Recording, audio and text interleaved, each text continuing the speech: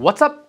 It's Quinn. Di video ini aku mau ngasih 4 cara buat mix and match denim trucker jacket part 2. Kalau kalian belum nonton part satunya, bisa klik link di atas. Di situ aku pakai denim trucker jacket warna mid wash dan di video ini aku bakal pakai yang warnanya dark wash. Semua detail dan link item yang aku pakai ada di description box below. Markimol. Oke, look pertama. Atasannya pakai t-shirt atau tank top warna putih yang cuttingnya loose dan neckline yang coak, scoop neck. Terus aku juga pilih yang agak long line. Ini tank top DIY, aslinya t-shirt aku potong sendiri. Kalau mau lihat cara potong bisa klik link di atas. Bawahannya pakai flannel pants warna merah sama biru navy dan celananya juga panjang jadi di bagian hemnya agak numpuk-numpuk. Ini celana local brand, Public Culture. Footwearnya pakai plimsoll warna putih gading, ivory. Di bagian sampingnya ada lining warna merah. Ini sepatu Vans old school sama pakai no show socks walaupun gak kelihatan. Sayangi kaki Anda. Terus kita pakai tracker jacketnya, pergelangan tracker jacketnya kita lipat satu kali. Dan jadi look denim tracker jacket yang pertama. Look yang santuy pol. Ini looknya very very slouchy, cenderung ke arah cuek malah. Apalagi tadi sebelum dipakein denim tracker jacketnya. Setelah dipakein tracker jacket, look ini masih terlihat slouchy. Terutama karena neckline dalamannya yang very very scoop, coak banget. Styling dalamannya juga nggak ditakin, terus di bagian sampingnya aku bikin slit. Ini slitnya DIY, tinggal digunting doang. Terus pilihan celananya juga dengan bahan yang lemes, cuttingnya loose. Terus hem celananya juga nggak dirapihin, dibiarin numpuk-numpuk. Footwearnya juga pakai plimsoll yang very very casual, tapi look yang terlampau santai ini kayak dibikin layak gitu sama si denim tracker jacketnya. Jadi ini satu referensi yang kalian bisa pakai kalau lagi mau pakai tracker denim jacket dengan cara yang super santai. Ini juga salah satu siluet favorite aku, sangat-sangat bisa dipakai buat daily wear. Buat styling jaketnya bisa dikancing, tapi karena kita mau bikin look yang santai, cukup dikancing satu button aja, antara button kedua atau button yang di tengah. Atau kalau mau bikin look yang terlihat lebih santai, stylingnya nggak usah dikancing sama sekali, dibiarin kebuka aja. Terakhir, ini opsional, boleh pakai boleh nggak, tapi karena aku anak topi banget, aku tambahin beanie hat warna hitam. Ini bininya Uniqlo.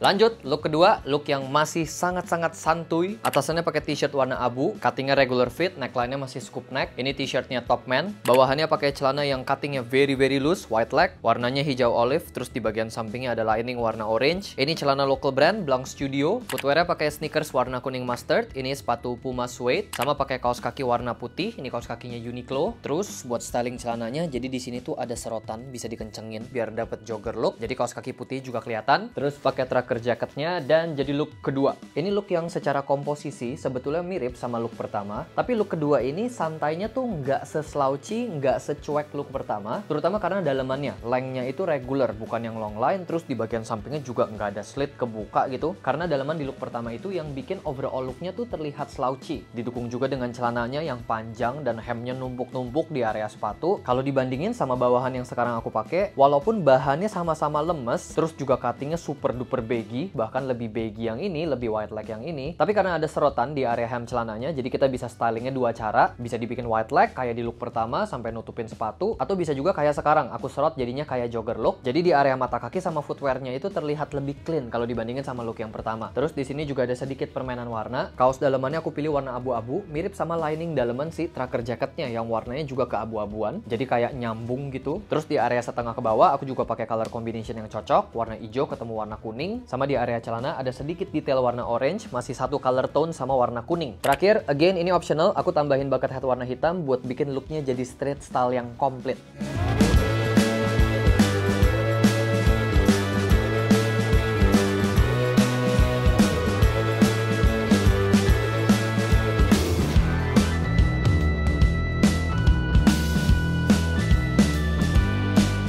Lanjut ke look ketiga, kali ini kita bikin look yang masih casual tapi sedikit lebih rapih. Dalamannya masih pakai t-shirt dari look kedua, t-shirt warna abu-abu yang kerahnya scoop neck, t-shirtnya top man, tapi kali ini stylingnya kita tuck in biar kelihatan lebih rapih. Bawahannya pakai celana corduroy warna coklat, cuttingnya juga loose, baggy fit, tapi kali ini hem celananya jatuhnya agak nge-crop. Ini celana hasil thrift shop di Metro Atom Plaza, Pasar Baru. Terus footwearnya pakai penny loafer warna hitam, di bagian uppernya ada detail crocodile leather. Ini sepatu local brand, Jovem Studio, sama masih pakai kaos kaki warna putih, kaos kakinya Uniqlo, Dan jadi look ketiga, look yang masih casual, tapi kalau dibandingin sama look satu dan look kedua, look ini overallnya terlihat lebih rapih. Pertama karena styling atasannya yang ditakin ke dalam celana. Kalau look satu sama look kedua kan gak ada yang ditakin. Terus pemilihan celananya, walaupun cutting dan fitnya kayak di look pertama sama look kedua, sama-sama lebar, sama-sama baggy fit, tapi celana ini hemnya itu ngecrop, jadinya nggak ada break yang numpuk-numpuk sama sekali di area hem celananya, ngebuat looknya jauh lebih clean kalau dibandingin sama look satu atau sama look kedua. Ditambah lagi, footwearnya di sini pakai sepatu kulit instead of pakai sneakers. Sebenarnya kalau mau kelihatan lebih rapi lagi, bisa tambahin satu aksesori yaitu pakai belt, terus pakainya yang slim leather belt gitu, jadi kelihatannya very chic. Tapi di sini aku mau stylingnya di kancing, jadi beltnya bakal ketutup anyway. Aku bakal kancing dengan cara yang santai, jadi button yang di tengah dikancing, sama button kedua dari bawah juga aku bakal kancing. Button paling bawahnya aku biarin, biar kalau lagi masukin tangan ke kantong bisa kebuka kayak gini. Dua button paling atasnya juga aku buka, biar daleman masih sedikit kelihatan. Karena walaupun ini look yang overallnya rapi, tapi aku masih tetap mau dapetin kesan santainya. Makanya area atasnya aku nggak kancing, karena area neck yang lebih revealing, yang lebih terbuka, itu bakal ngedapetin look yang lebih santai. Dan terakhir, opsional aku tambahin retro eyeglasses. Ini kacamata local brand, Project Solo Eyewear.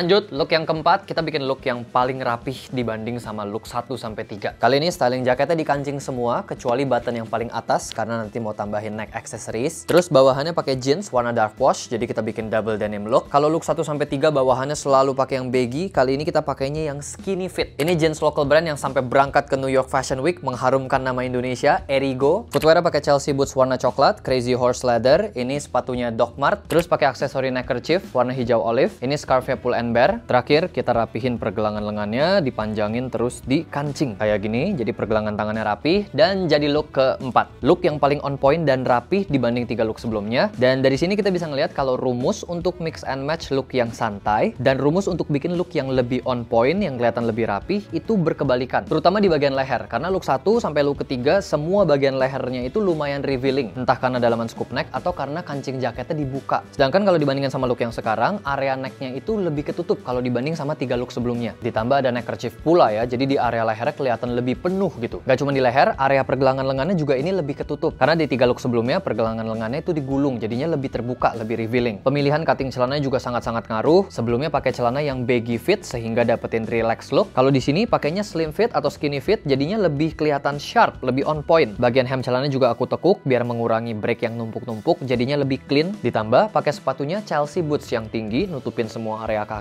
plus nggak ada talinya sama sekali, jadi kelihatan very clean looknya di area bawah. Tapi karena di sini pakai bahannya denim, atasan denim, bawahannya denim, jadinya juga ngedapetin vibes rugged look yang macho.